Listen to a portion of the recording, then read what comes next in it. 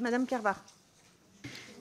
Merci Madame la Présidente. Cet amendement euh, vise à créer un, Conseil national minier. Je ne suis pas euh, arc-boutée sur le nom et on peut le- l'appeler autrement. Cette euh, proposition ne vient pas de nulle part puisque les, les associations des communes minières de France, les industries, les travaux tuyaux euh, en appellent de leur vœu. Euh, Nous allons passer, comme vous le savez, beaucoup d'amendements par ordonnance. Et donc, ce présent amendement vise à créer un conseil euh, national qui rassemblerait l'ensemble des parties prenantes.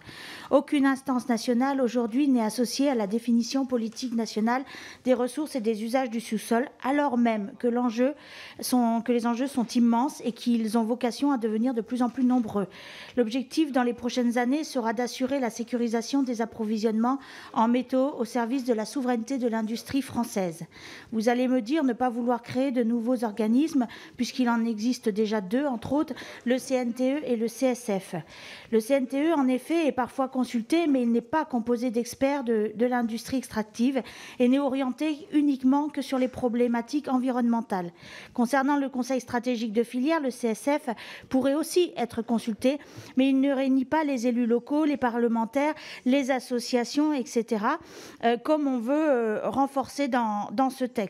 C'est pour ça qu'hier soir, je disais que, que lorsque je présenterai cet amendement, je prendrai du temps pour, euh, pour argumenter et venir appuyer la création de cet organisme pour que les, la consultation des parties prenantes soit opérationnelle.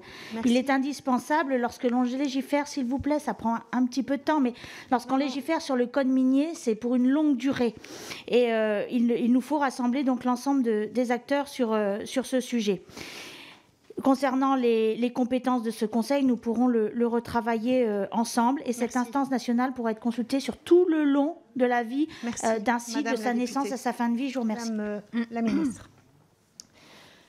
Oui, je comprends l'objectif de l'amendement. Euh, simplement, vous parlez du CNTE, mais en fait, le CNTE n'est pas euh, la seule commission représentative des différentes parties prenantes qui assiste déjà le gouvernement pour encadrer les différents usages du sous-sol.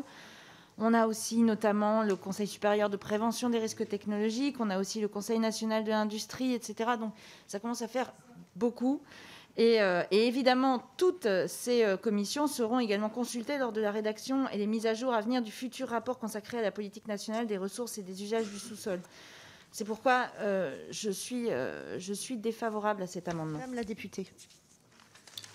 Je comprends la volonté de, ne pas créer de nouvelles instances, sauf que le monde économique, la vie, le degré de connexion des, citoyens change et évolue. Donc il est normal que des organismes meurent et que d'autres voient le jour. Le principe d'instance de cette concertation et de dialogue, rassemblant, je le rappelle, l'ensemble des parties prenantes, dans l'ensemble des organismes que vous avez cités, nous n'avons pas ce modèle-là impliqué dans cette politique d'extraction minière, de l'amont à l'aval, apparaît comme la clé du succès dans le bon fonctionnement de notre politique nationale pour les prochaines années, et notamment l'application concrète, opérationnelle euh, de, de la réforme que nous faisons aujourd'hui. Je vous remercie. On voit cet amendement qui a reçu un double avis défavorable. Qui est pour? Qui est pour? Qui est contre? Il est adopté.